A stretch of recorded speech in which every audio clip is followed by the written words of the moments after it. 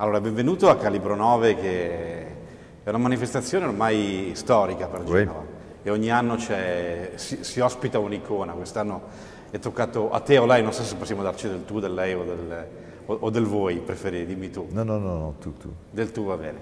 Allora, tu hai lavorato con, con dei grandi maestri del, del cinema italiano, no? Tu qui sei ricordato per eh, il cinema poliziottesco, come si diceva, però hai sperimentato anche altri filoni. Non è un mistero per nessuno che la commedia italiana sia stata di grande ispirazione anche per alcuni maestri del cinema americano, Tarantino. Tu l'hai vissuta anche la commedia italiana, ricordo Fantozzi, Super Fantozzi, no? era uno del, uno del filone. Sì, sì, infatti eh, fra gente in, incredibile che ho incontrato in, in Italia, vedere, fra le attori, eh, Ugo Tognazzi, ok, Fersetti, ok, e Villaggio un essere...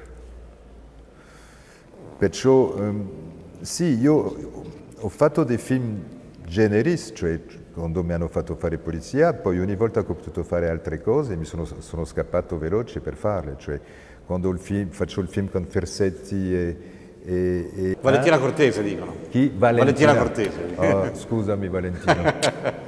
e Perciò lì era, era, era un, una specie di truffa, cioè era un film, e Fernando che aveva fatto la, la, la regia. Poi, eh, perciò, no, perché volevo parlare di questi attori. Mm. Eh, Pani che mi sembrava un, un, pazzo, Orsini Pani che mi sembravano di, di, un po' too much, erano, era, erano molto bravi anche loro. Poi chi c'era? Cioè, Comunque io ogni volta che sono uscito genere, del genere eh, ho trovato della gente abbastanza appassionante. A me il mio sogno era in fondo di fare della commedia, poi non ho il fisico che, che, che corrisponde. Invece io amo non i film eh, eh, eh, eh di sghignazzi, amo i film dove con la cosa la più naturale tu tiri una cazzata immensa ed è quella che deve fare ridere, non, certo.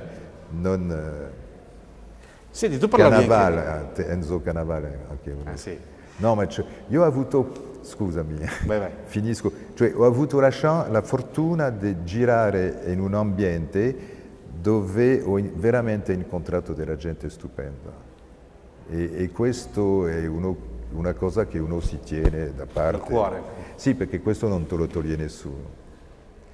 A proposito di gente particolare, tu hai girato anche con gente che col cinema non c'entrava nulla, no? Hai girato con Carlo Sponzona addirittura, un grande... Sì, sì, questo... Jacques Brel, voglio dire, hai avuto... Ah, ma, no, Brel, Brel, eh, siamo a Aix-en-Provence, eh, accanto a Marsiglia. Sì, Marsiglia. E, e, e eh, giriamo, io ho una parte piccolissima, facevo l'amante della, della bimba che non so più se era la sua donna, non mi ricordo. Comunque, e, e, e Brel dice, vabbè andiamo in night un sabato sera, night di Aix-en-Provence, come ça. Piano Ci lasciano passare. E poi, neanche dopo dieci minuti, la musica. Finisce? E Brel è rimasto fino alle sei di mattina io sono partito alle 4 perché ero morto, però parlando con tutti, un'intelligenza, un'intelligenza un, una sensibilità, una cultura, cioè un personaggio incredibile, veramente extraterrestre. Perciò questo per i film diversi. Monzon era un altro personaggio rispetto a Brel, voglio dire. Sì, sì, infatti, eh capi- ecco, io ci ho parlato di eh sì. Coso, adesso parlo di Monzon. eh, eh, mi chiama Rodolfo Sabattini che era il produttore del film, enfin, era nella produzione, ho trovato un torino, torinese che, che, era nella pasta, pa, pasta sì, che, che, aveva fatto soldi alla, con la pasta e, e l'ha perso col cinema. E, e, e poi come, come, come sportivi, cioè era abbastanza, eh, era bravissimo. Perciò tutti dice sempre che uno bravissimo in un campo non può essere completamente deficiente in un altro, invece ogni tanto uno si sbaglia. Perciò eh, mi dicono coprotagonista, ho detto bene, c'è un fratello un po' gringo, ma why not? Non so se mia madre ha peccato o mio padre, comunque posso avere un fratello. e poi recupero il copione e sono l'antagonista. Dico, oh, eravamo spesse di due fratelli, adesso, ah no, il Signore non voleva più che io fossi antagonista, ma protagonista. Ho detto va bene, allora prendo un, un, amico mio scrittore che era un enorme sceneggiatore, Alberto Silvestri, che ha fatto Yuppidoo, che ha fatto tutte le cose con Maurizio Costanzo, cioè cervello, e io gli dico guarda, sto scemo, eh, eh, non vuole, vuole che io sia antagonista, facciamo un antagonista. Infatti per tutto il film io prendo le decisioni più terribili, cioè questa bimba lì passo con la Rolls, vedo la bimba, di quella la prendiamo, e sempre col sorriso e sempre cioè, a controtempo dell'azione.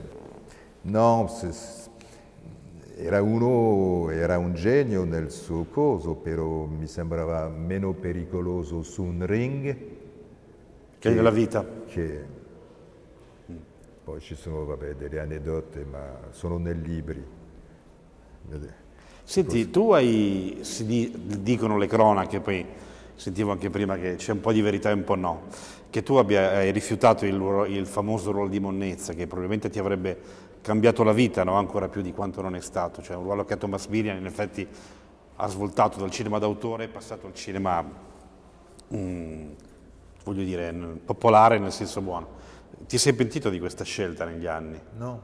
no. Eh, guarda, la cosa la più intelligente dopo che il film è, stato fatto bene e che abbia successo è che io, io in fondo ho reso uso Gagliano Ricco e Thomas è partito... Io non, a parte che non avevo, avevo due pagine, poi non, non ero, come gli ho detto, io non sono per la commedia, Perciò non era per me. Non era per te. E cioè, ma non mi divertiva. Per esempio, lui metteva un berretto perché perdeva già i capelli, sì. io ce l'avevo ancora. le parrucche, diceva. Perciò mi, mi, fregava niente. Voglio mm. dire, eh, no, eh, non era... È stato molto carino uso di propormelo, però gli ho detto, guarda, la commedia che io amo è quella degli americani degli anni 50, 40, 50, 60. Perciò e vabbè, perciò perché lo dovrei rimpiangere? Cioè, ho rifiutato anche Sandokan. Ah. Sì, eh, perché non avevo voglia di fare televisione, arrivavo in Italia, eh, io scoprivo tutto questo, poi il cinema vero che mi piaceva, non, poi non volevo partire un anno da Roma, cioè mi toglie la pasta e il caffè. Posso ti trovavi anche, benissimo tu a Roma. Posso anche incazzarmi. Perché ti sei allontanato a un certo punto? Ti sei... Allontanato? Sì. Ah, oui, diverso. è l'opposto di... Eh, mi sono allontanato perché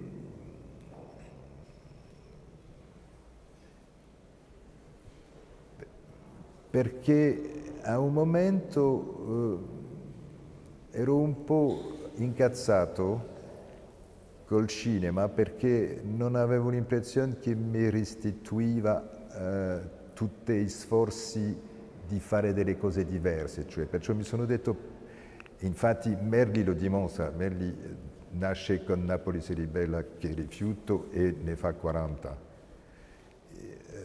anche lì non posso fare, perciò mi sono trovato un po' en portafaux. Ok, e, stretto. E poi perché eh, ho avuto un, um, un, uh, ho avuto un incidente, ho 30% di invalidità permanente, se io devo indietreggiare, se non giro il culo non vedo dietro, perciò ho 30%, 30 di invalidità certo. e non è 3. E, e poi ho fatto un processo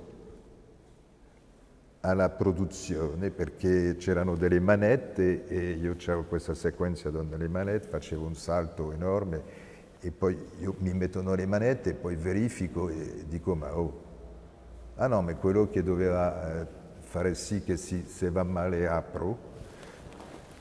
E, e, e e lì mi sono, mi, sono, mi dispiace anche perché il produttore tutto sommato non, non, era, non era, così, cioè, non mi era antipatico affatto, però avevo la Minerva 3-4 mesi dopo e lo incontro in una proiezione e lui dice eh, eh, che ti è successo? E lì uno, io mi sono fracassato sul tuo film perché un imbecille e il primo imbecille ero io perché non avrei dovuto accettare, però mio padre l'avevo seppellito di domenica per poter essere lunedì sul set, perché in Francia domenica non seppelle neanche gli uomini politici sono, se, sono sepolti la domenica. Eh, e, e, e, e, lì mi sono, proprio mi sono incanito, perché fra la, fra l'assicurazione che mi mandava un dottore che diceva mette de, delle lampade, sai che riscalda, è scemo, avevo due cervicali schiacciate. Certo. E poi io che stavo male perché mio padre era morto, perciò finalmente cioè, ho vinto il processo e, e, e, lì da un botto non ero più merenda oriondo, ero francese. E questo mi ha un po' rotto le...